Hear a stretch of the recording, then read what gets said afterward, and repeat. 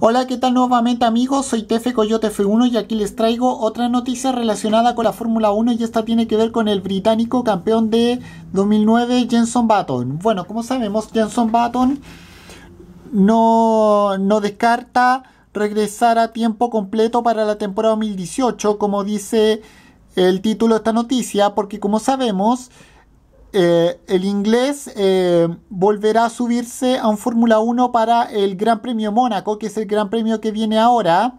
Y, afirma que eh, su contrato con el conjunto de Walking le permite correr el año siguiente, es decir, 2018. Y bueno, yo ya le dije que va a sustituir a Fernando Alonso para el Gran Premio siguiente, el de Mónaco eh, donde